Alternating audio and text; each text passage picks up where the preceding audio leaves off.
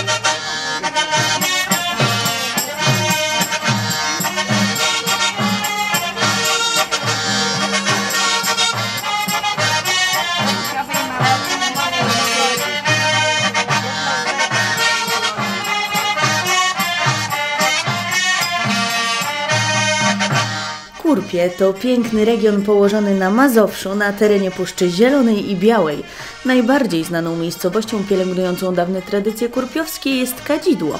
My jednak przenosimy się do Nowogrodu, gdzie w ramach festiwalu na wzgórzu nad rzeką odbywały się warsztaty zbiadów. E, Wydarzenie organizowane jest przez Fundację Adama Chętnika w ramach festiwalu w wielkim formacie na wzgórzu nad rzeką. Czym dokładnie są biady kurpiowskie i jak wyglądały, mogliśmy dowiedzieć się podczas warsztatów. Maciej Talaga z wykształcenia jest archeologiem.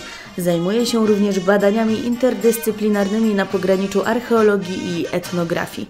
Częścią tych badań jest praca nad poznaniem i udokumentowaniem, a także zabezpieczeniem na przyszłość tajemnic folkloru kurpiowskiego. Z tego, co nam udało się ustalić, a to bazujemy na wywiadach z, no, ze starszymi ludźmi, którzy jeszcze pamiętają tę praktykę, e, to było, był, była zabawa, którą jakby rozgrywano wtedy, kiedy nie było nic lepszego do roboty, a była większa grupa, jakby zwłaszcza chłopaków razem.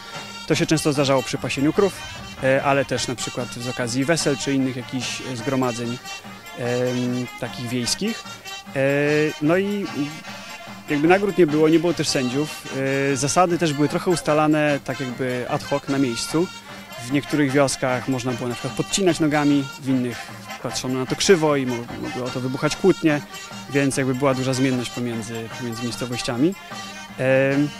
No i większość traktowała to po prostu jako zabawę, ale wiemy z tych wywiadów, że byli tacy, którym te biady jakoś tam podpasowywały i oni myśleli o nich dużo, próbowali się, starali się jakby uzyskać jak najwyższą biegłość, no i oni to traktowali prawie, że jak sport. A niektórzy w wywiadach wprost mówią, że to, to było coś dla nich takiego jak dzisiaj gimnastyka albo sport, że to był w zasadzie ich jedyny pomysł na to, jak można się jakby fizycznie, fizycznie wyżywać, więc trochę taki odpowiednik piłki nożnej obecnie. Festiwal na wzgórzu nad rzeką jest organizowany przez Fundację Adama Chętnika przy współpracy z Muzeum Skansenem Kurpiowskim w Nowogrodzie.